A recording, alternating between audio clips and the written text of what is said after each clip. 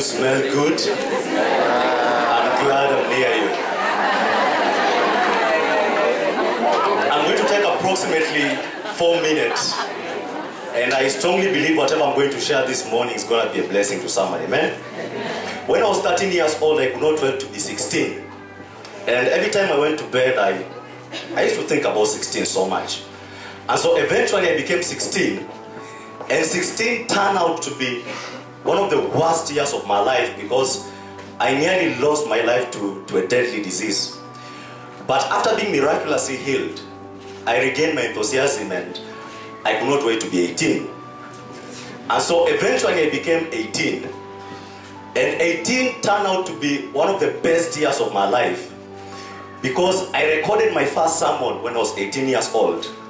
I went for my first date when I was 18 years old. And I nearly got married at the age of 18. But I thank God I didn't. And so on Tuesday, I, I, I turned 25 and I was looking at the photos I took when I was 16 and 18 years old. And, and a wave of nostalgia just swept over me. And I was a little bit disturbed. And so I called my spiritual father, who is 75 years old.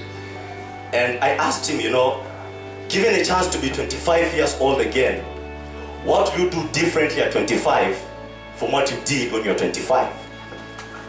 And then he told me, son, I will walk in love relentlessly.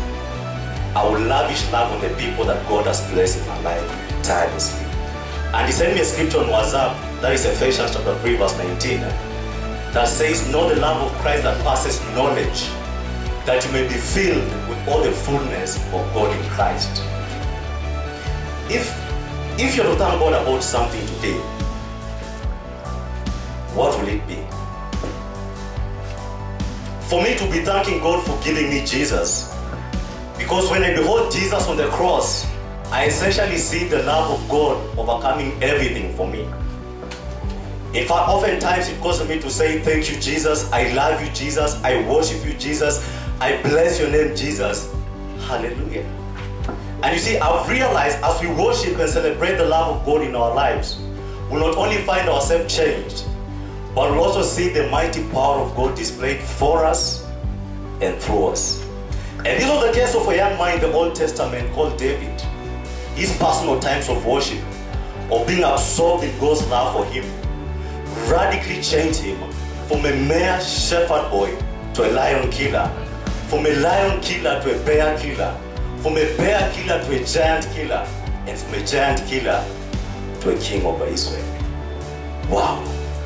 Now, no one on earth, no man, no matter how strong he is, let alone a youth, can come against a lion and press open his mouth to snatch back his sheep with the arrow carried away unless God's anointing is on him. And this is exactly what happened to David the shepherd who, went after the lion, caught it by its beard, struck it and killed it, and thus delivered the lamb from the jaws of the lion, according to 1 Samuel chapter 17, verse 34, 37. Now this is my point as I draw this message to a conclusion. No man, I don't give a damn how tall, how dark, how handsome, how romantic he is. No man can truly enjoy living in this world without God's strength in his life, without God's favor in his work and relationships, without God's protection for him and his family, without God's increase in his finances, and without God's health and healing for his body. Likewise, no woman. I don't care how cute a smile is. I don't care how fair complexion is. I don't care how, how shapely and proportionate her bum is. I don't give a damn how luscious her lips is, how sexy her eyes are. I don't care. My sister was crowned Miss Western in 2011. She was named the most beautiful woman in the entire Western province. But she could not survive emotionally until she met Jesus. No woman, I don't care how stunning she is, can truly survive emotionally, physically, and socially without God's tender touch, without God's loving presence, sweet assurance, and words of life in times of need.